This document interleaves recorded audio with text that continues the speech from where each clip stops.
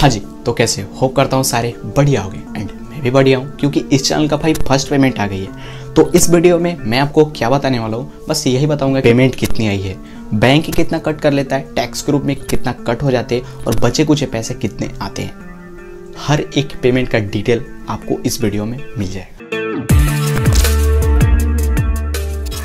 तो जब भी आपका चैनल मोनेटाइज होगा तो एक नया ऐप आपको देखने को मिलेगा, नया वेबसाइट देखने को मिलेगा और वो है एडसेंस क्योंकि एडसेंस ही आपको पैसे देते हैं, ठीक है? यूट्यूब आपको पैसे नहीं देता है। यूट्यूब पे आप लोग ऐड देखते हो, उसी ऐड का पैसा एडसेंस में चला जाता है। अब एडसेंस में क्या होता है कि एडसेंस में जब तक आप हंड्रेड डॉलर नहीं जुटाओगे, तब तक आपके अकाउंट में पैसे आएँगे ही नहीं। समझ रहे हो ना मैं क्या बोलना चाह रहा हूँ? जैसे कि आप कोई अर्निंग ऐप को ले लो, कोई भी अर्निंग ऐप जैसे ही आप लोग ओपन करते हो तो उसमें एक लिमिट होता है कि जब तक आप पाँच सौ रुपये नहीं जुटाओगे, सौ रुपये नहीं जुटाओगे, तब तक आप उसे निकाल नहीं सकते हो अपने अकाउंट में। ठीक है? वैसे ही बस इसमें है भाई सिंपल से है एडसेंस में। जब तक आप इसमें हंड्रेड डॉलर नहीं जुटाओगे, तब तक आपके अकाउंट में पैसे नहीं आएँगे। तो अब हंड्रेड डॉलर जुटेगा कैसे? सिंपल सी बात है वीडियो जितना ज़्यादा अपलोड करोगे, उस वीडियो पे ऐड उतना ही ज़्यादा आएँगे। और दूसरी चीज़, उस पर व्यूज़ आनी चाहिए। अगर आपकी वीडियो पे व्यूज़ आती है तो बस सिंपल सा है कि उस पर ऐड आएगा। और ऐड आएगा तो आपके एडसेंस में पैसे आएँगे। सिंपल सा फंड। हाँ तो ये सारी तो हो गई ज्ञान की बात। इसे अब रखते हैं साइड में अब आते हैं सीधे पॉइंट पे कि भाई तुम्हारी पेमेंट कितनी आई है? तो मेरी पेमेंट कितनी आई है? अब वो, वो बात करते हैं ठीक है? तो 21 तारीख को मेरे पास एक मेल आता है गूगल एडसेंस की तरफ़ से कुछ ऐसा। इसमें ये लिखा रहता है कि भाई आपका जो पेमेंट है वो भेज दिया गया है मतलब वहाँ से चला गया है ठीक है? अब आपके अकाउंट में आने में आपके बैंक तक जाने में पाँच दिन तक समय लग सकता है। अगर पाँच दिन तक अगर आपका नहीं भी आता है तो आप बैंक से कॉन्टैक्ट कर सकते हो। तो मैंने सोचा कि चलो भाई, इतना तो वेट कर लिया है। अब पाँच दिन में वेट करने में क्या जाता है? तो मैंने सोचा कि चलो पाँच दिन तक वेट कर ही लेते हैं। तो फाइनली छब्बीस तारीख हो जाते हैं और छब्बीस तारीख लास्ट दिन था और लास्ट दिन मैंने सोचा कि आज के दिन तो आएगा ही आएगा। और फाइनली नौ बजे मेरे पास एक मैसेज आता है। तभी उस मैसेज को मैं देखता हूँ और महली में जान गया था कि भाई, पैसे का ही मैसेज होगा।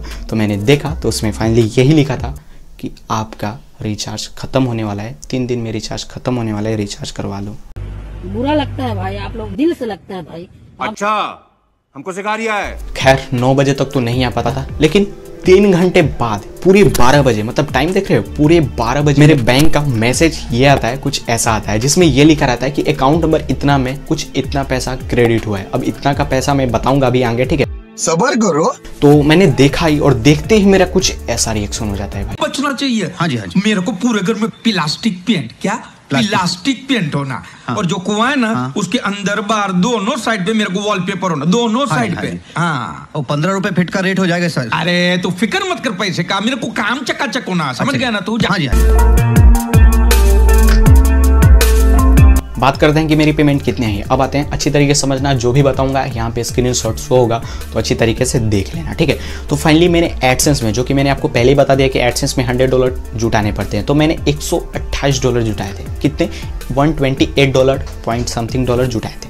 तो उसमें से वन पॉइंट समथिंग डॉलर क्या हुआ कि कट हो गया टैक्स के रूप में? वन पॉइंट समथिंग यहाँ पे देख सकते हो कि वन पॉइंट कितना लिखा हुआ है। इतना डॉलर क्या हुआ? कट हो गया, ठीक है? तो अब बात करते हैं कि one point twenty seven dollar मेरे अकाउंट में है, ठीक है? तो अकाउंट में आने के बाद अगर इसे कन्वर्ट करोगे वन ट्वेंटी सेवन डॉलर को अगर इंडियन रुपीज़ में तो कुछ नाइन थाउज़ेंड फाइव हंड्रेड कुछ समथिंग रुपये बनेंगे, ठीक है? नाइन हंड्रेड पाँच सौ समझ जाओ इतना मतलब अप्रॉक्स में लेके चलो इतना, और इतना कुछ बनते हैं, ठीक है? तो मेरे पास पेमेंट में nine thousand five hundred something रुपए आए थे, ठीक है? इतने रुपीज़ आई थी। लेकिन मेरे अकाउंट में कितने आया? तो वो था nine thousand two hundred fifty rupees मतलब बस इतना ही रुपए मेरे अकाउंट में है। मतलब एक तरीके समझ सकते हो कि बैंक ने ढाई सौ रुपये कट कर लिए, ठीक है? तो मतलब समझ जाओ कि वहाँ से लेकर यहाँ तक आने में मेरे अकाउंट तक दो तीन से चार सौ रुपये ऐसे ही कट जाते हैं। जैसे कि वहाँ पे एक पॉइंट कुछ डॉलर कट गया और यहाँ पे आके ढाई सौ रुपये कट गया ठीक है? तो तीन से चार सौ रुपये ऐसे ही कट हो जाते हैं और बाकी जितने पैसे मतलब मैंने बताया ना कि कुछ इतना पैसे मेरे अकाउंट में है और इसका आने का कारण बस एक ही है और वो है आप लोग,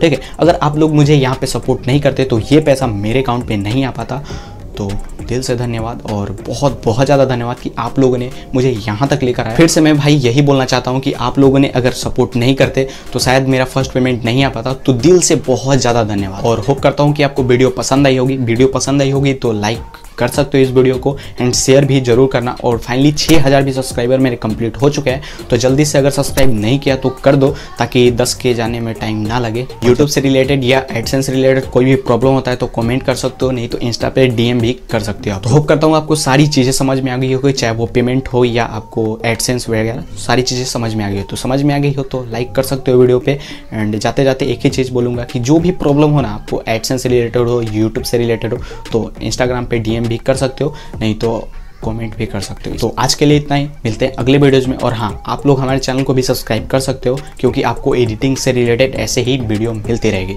सो आज के लिए इतना ही। मिलते हैं अगले वीडियोज़ में। तब तक के लिए।